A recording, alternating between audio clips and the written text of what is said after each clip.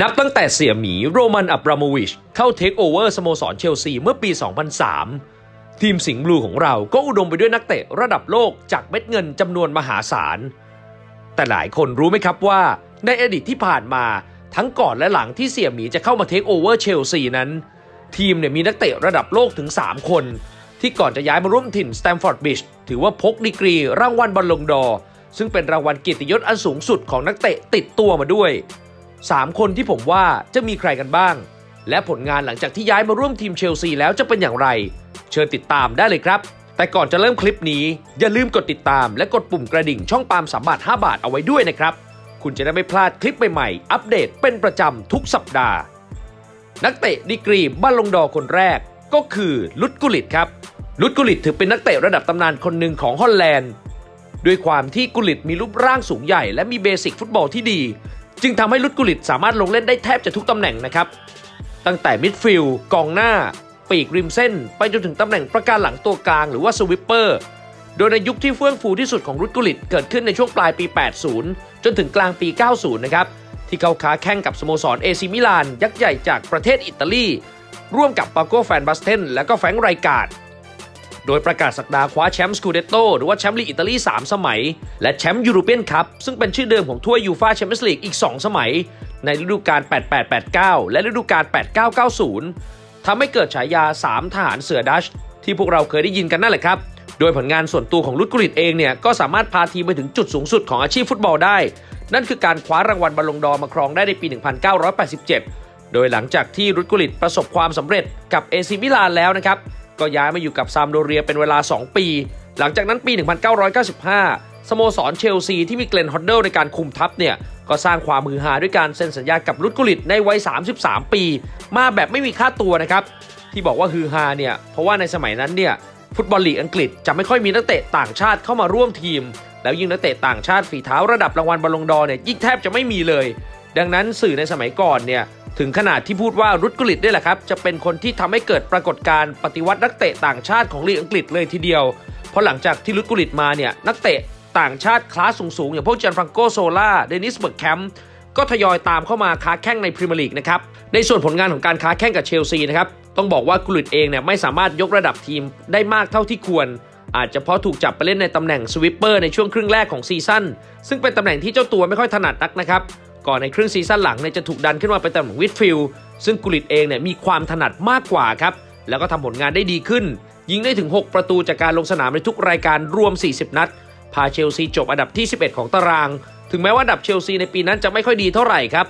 แต่ผลงานที่โดดเด่นของกุลิตเองในช่วงครึ่งซีซั่นหลังเนี่ยส่งผลให้กุลิตได้รับการโหวตเป็นนักเตะยอดเยี่ยมของลีกเป็นอันดับที่ 2 รองจากเอริกคันโตนาครับดาวเตะทีมชาติฝรั่งเศสของแมนเชสเตอร์ยูไนเต็ด และซีซั่นถัดมาเกล็นฮอดเดิลก็ถูกเสนอชื่อให้เข้ารับตำแหน่งผู้จัดการทีมชาติอังกฤษทำให้รุดกุลลิตเองเนี่ยถูกดันขึ้นมารับตำแหน่งผู้เล่นผู้จัดการทีม และเพียงแค่ปีแรกที่คุมทีมเนี่ยก็สามารถพาเชลซีคว้าแชมป์ FA คัพได้ในทันทีนะครับซึ่งเป็นแชมป์แรกของเชลซีในรอบ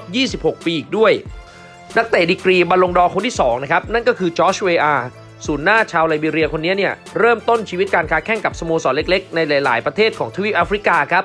ไล่มาตั้งแต่อไลบีเรียครับโกติวัว และก็แคนารูน ก่อนที่จะถูกชายคนหนึ่งครับ ซึ่งต่อมาได้รับการยกย่องว่าเป็นหนึ่งในบุคคลที่มีสายตาเฉียบแหลมมากที่สุดคนหนึ่งของโลก ในการสาะหาผู้เล่นดาวรุ่งนำมาคาแข่งในลีกยุโรป กับสโมสรโมนาโกของประเทศฝรั่งเศสครับถูกแล้วครับชายคนนั้นก็คืออาร์เซนเวนเกอร์นั่นเอง ก่อนที่เวอาเนี่ยจะยิงประตูถล่มทลายในช่วงระยะเวลา 4 ปีกับโมนาโก ตั้งแต่ปี 88 จนถึงปี 92 ยิงไปถึง 66 ประตูจากการลงสนาม 149 นัด แล้วก็พาโมนาโกคว้าแชมป์ฟุตบอลถ้วยในประเทศอย่าง Coupe de France นะครับในปี 1991 และก็พาทีมเข้าถึงรอบชิงชนะเลิศฟุตบอลยุโรปถ้วยเล็กอย่าง Cup Winners' Cup ในปี 92 แต่ก็ดันไปแพ้แวร์เดอร์เบรเมนนะครับไปศูนย์ประตูต่อ 2 แต่ด้วยผลงานอันเปรี้ยงปร้างของ VR ครับก็เพียงพอที่ทำให้เขาเนี่ยได้เป็นนักเตะยอดเยี่ยมแห่งทวีปแอฟริกาในปี 1989 ก่อนที่จะย้ายไปอยู่ในสโมสรยักษ์ใหญ่ร่วมลีกอย่างเปแอสเช ในปี 1992 โดยระหว่างที่ค้าแข่งกับเปเชเนี่ย VR ประสบความสำเร็จสุดๆนะครับ สามารถคว้าแชมป์ลีกได้ 1 สมัย แล้วก็คว้าแชมป์ฟุตบอลถ้วยในประเทศอีก 2 สมัย ภายในช่วงเวลา 3 ปี รวมทั้งยังคว้ารางวัลดาวซัลโวใน European Cup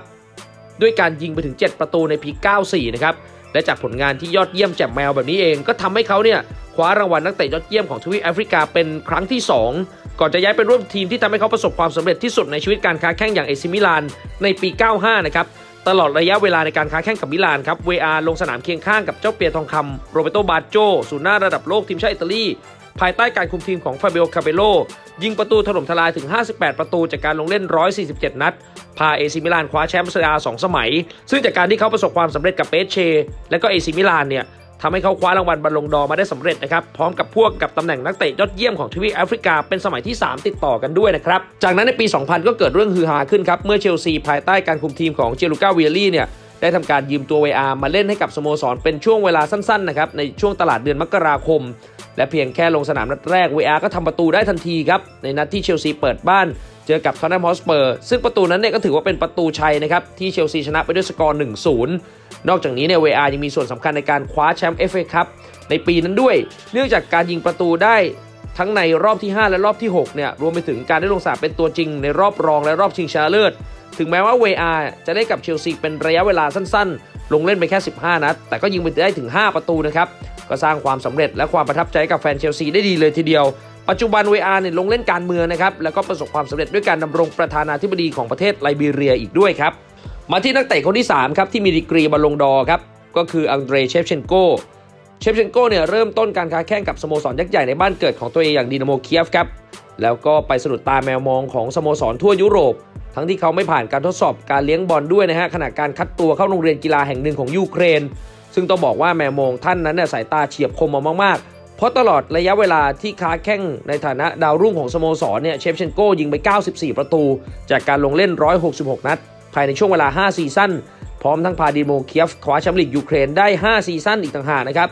นอกจากนี้เชว่ายังฝากผลงานในฟุตบอลยุโรปไว้อย่างระเบิดระเบ้อครับด้วยการกดแฮตทริกใส่ทั้งบาร์เซโลนาและก็เรอัลมาดริดสองสโมสรยักษ์ใหญ่จากสเปนครับทำให้หลาย ๆ ทีมในยุโรปเนี่ยจ้องตาเป็นมัน สุดท้ายแล้วก็เป็นเอซีมิลานครับที่คว้าตัวมาร่วมทีมด้วยค่าตัวสถิติสโมสรถึง 25 ล้านเหรียญสหรัฐ